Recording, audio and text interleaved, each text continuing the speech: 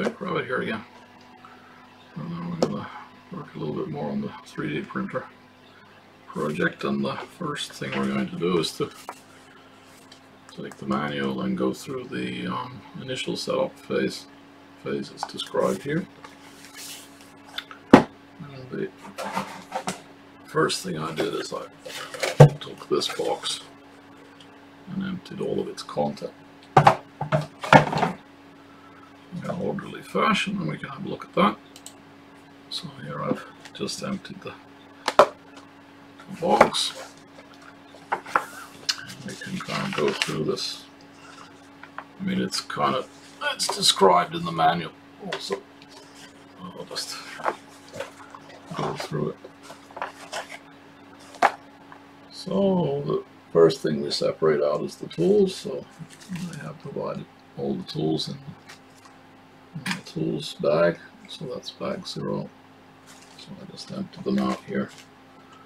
You can see we've got some Allen keys, we've got the um, pliers, we've got the screwdriver. I don't know if I'll use these or, I mean, I have tools, but we'll see.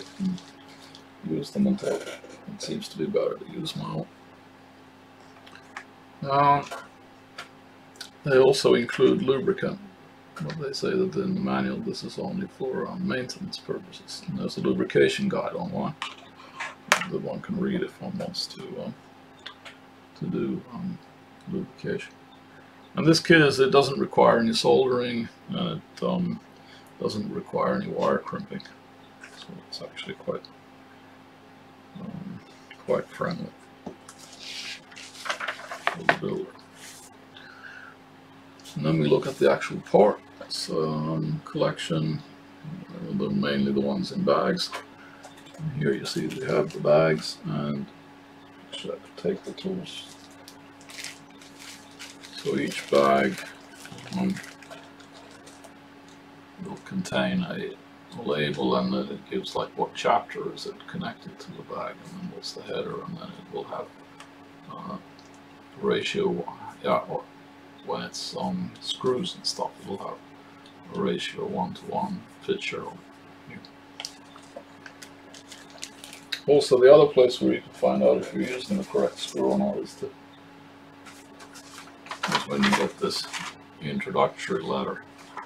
And if you turn it around, then it turns into a cheat sheet, so you can actually take a screw and you can like put it on, try to find out, because this is a one-to-one -one, uh, ratio picture, so then you can put the screw in place and find out you know, exactly which one it is.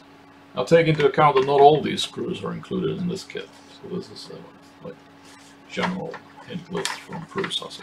So don't have a panic if you don't find all this, all the things on this page.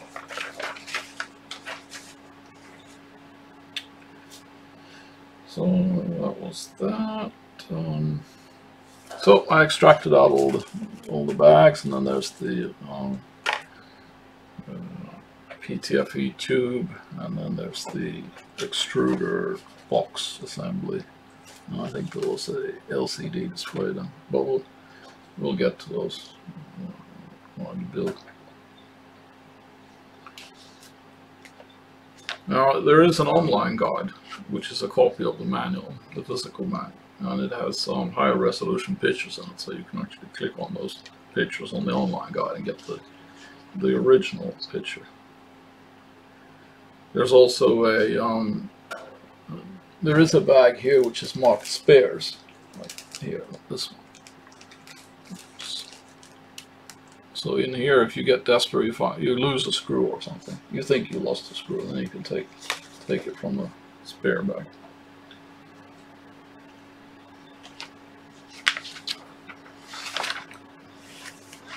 Then there are some uh, comments about um, the 3D printed parts and how they're marked.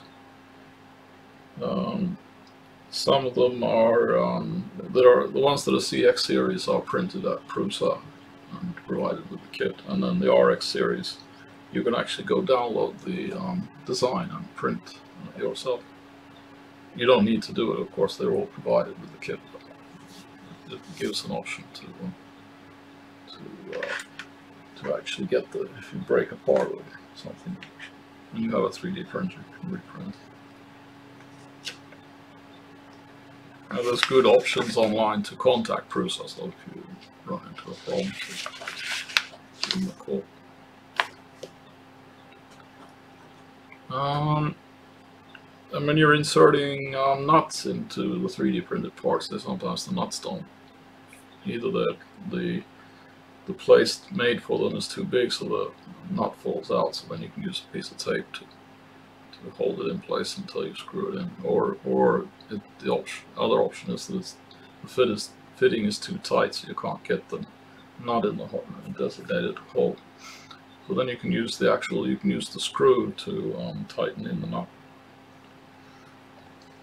And um, also Prusa provides instructions how to eat these in, in what specific order and how many to take for each section.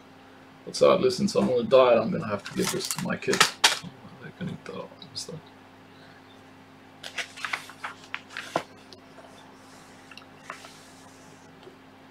And then one should always read the, the applicable section through first before one starts actually building anything.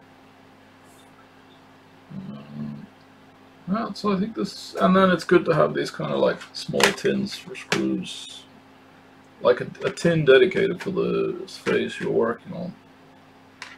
I'll actually put the, I'll do so that I'll put the tools in there tools kept in and then can pour, I can empty the bag here and keep one bag here and then put all the parts away if they're not needed until later. So, And then uh, it, does come with some stuff that you need very much later. This was um, cleaning equipment for cleaning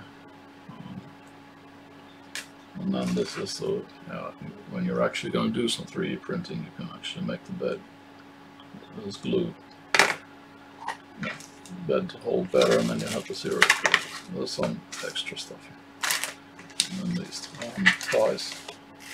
Down wires. So anyway, that was the bit about the um,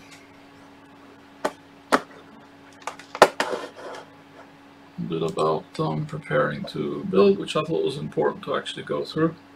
I mean, it's all stated in the manual, but if to read that, but at least at minimum, this kind of organization, so you have things set up, and then it means that if you get interrupted, then you have things in, always in a specific order. So, like me, you know, with the family and stuff, can't always just focus on one thing.